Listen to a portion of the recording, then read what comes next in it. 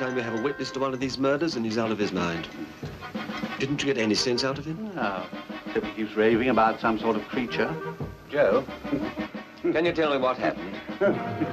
It was a horrible creature, sir, with huge eyes, sir. Oh, with the, the wings, the wings, sir. Oh, let me alone, let me alone. From this old house, some evil thing was spawned to bring terror to the surrounding countryside. What was Professor Mallinger's gruesome secret? And how was his beautiful daughter involved? Look at that moon. Does it make you feel romantic? I didn't need the moon to make me feel romantic. No, no. First, you've got to catch me.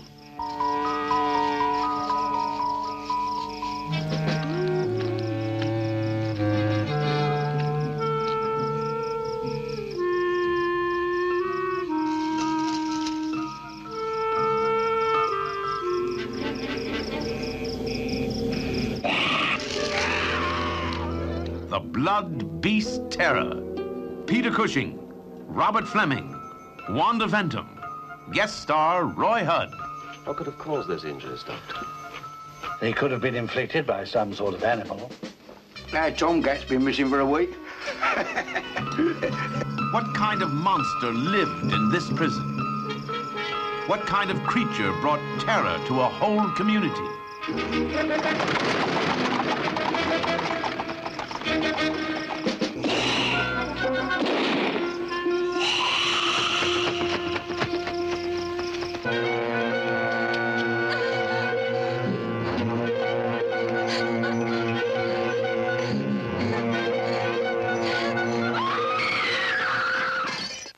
Hello, folks, to day 21 of 31 Days of Howling Beasts. I am your host for this one around, uh, Mr. Gary Hill. Um, probably the most, uh, the most host, the most voice you'll hear on these, these, uh, being these great 31 episodes.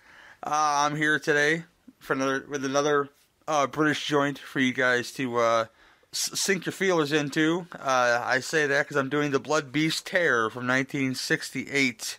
Um, I'm not going to give you the IMDb plot synopsis because it's fucking dog shit, and they give you the spoilers for the whole fucking movie, and I'm not a fan of that. So basically, your plot your plot synopsis is um, Peter Cushing is in the film. He plays Inspector Quennell, and he uh, is investigating murders uh, about town where, where men are being bludgeoned to the heads and scratched up and killed and you know basically mutilated and uh, blood drained from their bodies, and it's a big mystery and blah blah blah. Why would they want to drain blood from their bodies? Um, it, it turns out that you know this is not a normal murder. This is a winged creature of some kind, and uh, they're they're very frantic about this, and nobody believes them because who would believe a giant winged creature would kill people? Um, yeah, so that, that's the spiel of this one. Uh, Robert Fleming plays Dr. Mallinger, who's an entomologist, who's an expert on insects. That means they're an expert on insects, of course. And um, he plays helps. He's helping with the investigation, and he's very passive about this. You find out why later. Um, uh, Claire um, Mallinger is played by Wa- Wanda Ventham, who um, people might know. I remember watching this on the Sci-Fi Channel reruns. Uh, the TV show UFO she was on and uh, later would be on the BBC uh, Sherlock series. She's actually Benedict uh, Cumberbatch's mother in real life, so that there, there's that. I guess that's the, the Sherlock the Sherlock connection, uh, if if you will.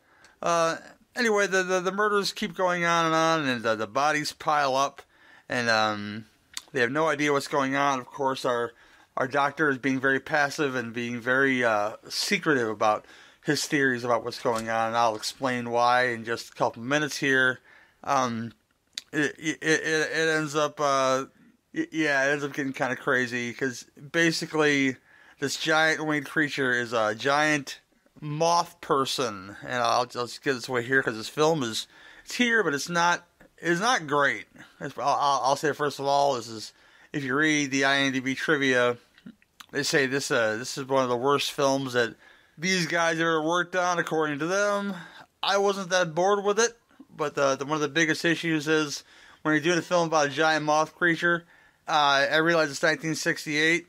and you're not going to see it very, very much. They do a good job of concealing, you know, what it is by, you know, leaving clues behind to say, oh, what are these giant flecks of, of insect, you know, because basically this, this person goes from a woman to a moth, and during the metamorphosis leaves behind residue uh, of this, and it's, of course it's it's human it's it's human size, so they're all baffled and blah blah blah, except for the doctor because he knows precisely what's going on. Spoilers, because the, the IMDb plot synopsis gives it all away. So I'll uh while, I'm in here now, he, uh, he'll give it I'll give it away a little bit.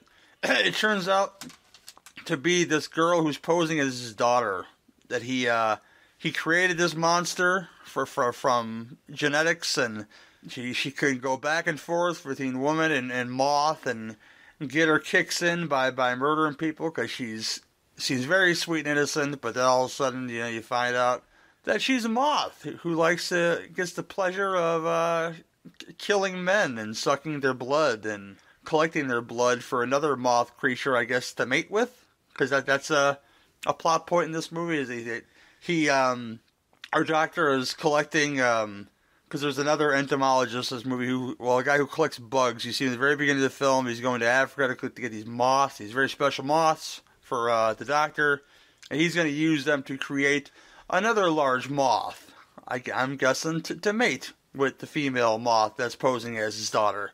I guess never really explained as his actual daughter or something he created but i'm pretty sure about 95% sure it's something he created and um, she seems like there's there's a point in the film where she's gonna go. They, they go out to the country to go finish his work.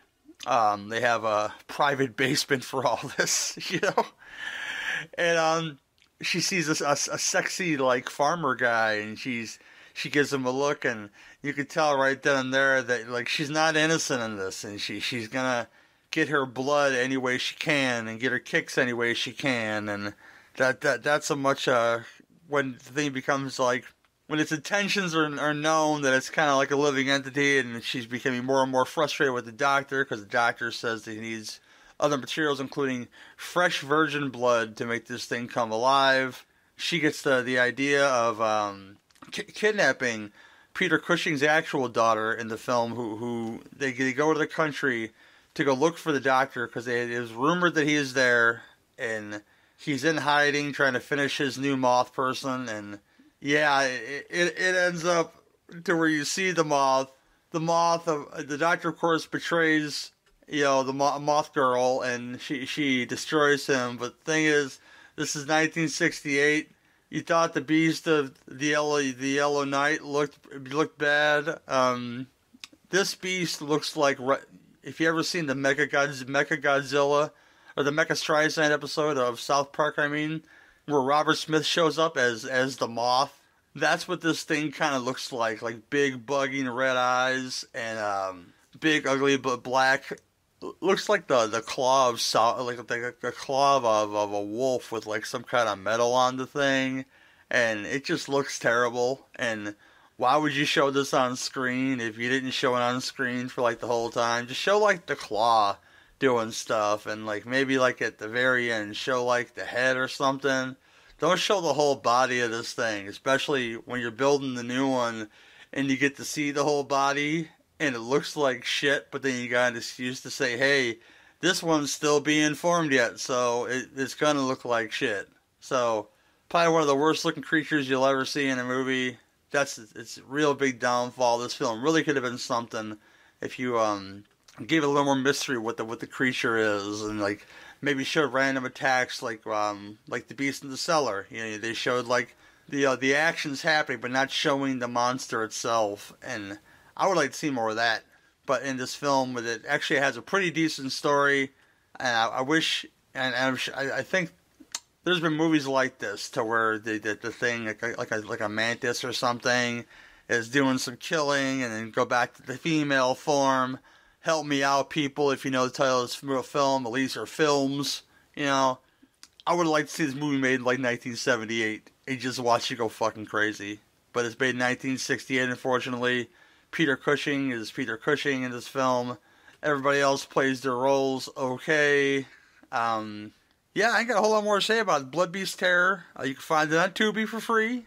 Uh, it's a little long. I wish it was like an hour and 15. It runs about an hour and a half. And uh, it's got that wacky 1968, you know, Twilight Zoney kind of, you know, a lot of pianos and, and, you know, big strings. And soundtrack works kind of well, actually. But the film itself is, is kind of a kind of a dud for what it tries to do and just doesn't execute it all that well.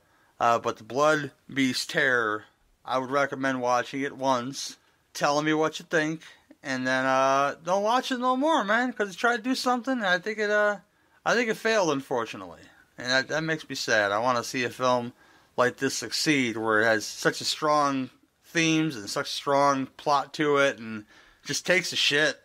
you know, once you know the creature's like self-aware, and just you know, yeah, it just becomes real dull, and it has a really stupid ending too. And uh, Moth to the Flame is all I'll say. Nobody knew that Godzilla played dirty. I, I, it, it, it, it's yeah, stupid, real fucking stupid. But uh, Blood Beast Terror, uh, please check it out. I don't know if I'll have a curator for tomorrow, so I'm gonna do another one myself, and this time it's a Yeti film from the 50s, okay, called Man Beast. And I'm looking forward to watching this this probably guy in a suit thing. Never seen him before. All these films I've never seen before, so I'm I'm looking forward to watching this film and talking about it and hopefully give you guys a recommend. I can't recommend this though. Uh, it's the Blood Beast Terror, 1968. Watch it on Tubi. Don't pay for it. Just don't don't don't do it. Don't don't do it, man. But tomorrow, Man Beast. I think 1958, 56, right around there. On the next installment of the 31 Days of Howling Beasts.